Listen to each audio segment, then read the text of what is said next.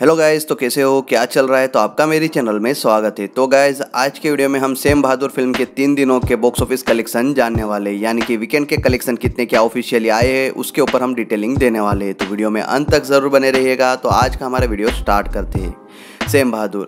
एक बायोग्राफिकल वो drama film थी, जिसका जो ट्रेलर आउट हुआ था, उसके बाद इस फ़िल्म का positive word of mouth trailer के प्रति काफ़ी देखने को मिला था। लेकिन एनिमल जैसी बड़ी फ़िल्म के साथ ये फ़िल्म क्लेस ले रही थी, जिसके चलते एनिमल फ़िल्म ने काफ़ी सारे शोज़ हासिल कर लिए थे।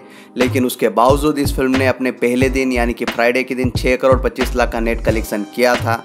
और वर्ड ऑफ़ माउथ था, वो फ़िल्म के फेवर में रहा, जिसके चलते सेकंड डे यानी कि सैटरडे के दिन इस फ़िल्म ने चौवालीस परसेंट का ग्रोथ दिखाया और इस फ़िल्म ने बॉक्स ऑफ़िस पे इंडिया से 9 करोड़ का नेट कलेक्शन किया हुआ था। और उसके बाद में तीसरे दिन, यानी कि संडे के दिन भी इस फ़िल्म ने काफ़ी बढ़िया तरीके से उस ग्रोथ को मेंटेन किया। सैटरडे के दिन के मुकाबले करीबन पंद्रह परसेंट जितना ग्रोथ दिखाया और उसके साथ इस फ़िल्म ने संडे के दिन दस करोड़ तीस लाख का नेट कलेक्शन इंडिया से किया हुआ था, जिसके चलते इस फ़िल्म का जो पहला वीकेंड है, काफ़ी बढ़िया तरीके से पच्चीस करोड़ और पचपन लाख का रहा है। तो एक रिस्पेक्टेड वीकेंड इस फ़िल्म ने हासिल किया है। और इसका जो ग्रोस कलेक्शन होता है इंडिया का तीन दिनों का, वो होता है तीस करोड़ बयालीस लाख। और ओवरसीज में इस फ़िल्म ने एक डिसेंट कलेक्शन करके दिखाया हुआ है, जहाँ पे तीन दिनों के अंदर इस फ़िल्म ने ओवरसीज से तीन करोड़ तिरासी लाख का ग्रोस कलेक्शन करके दिखाया हुआ है। तो वर्ल्ड वाइड लेवल के ऊपर इस फ़िल्म ने अभी तक तीन दिनों में चौंतीस करोड़ पच्चीस लाख का ग्रोस कलेक्शन करके दिखाया हुआ है। तो बस गाइज़ आज का हमारा वीडियो यहीं तक था। आई होप आपको वीडियो पसंद आया होगा। अगर वीडियो पसंद आया हुआ है तो लाइक और शेयर ज़रूर कीजिएगा। हमारे इस चैनल को सब्सक्राइब करना ना भूलेगा थैंक यू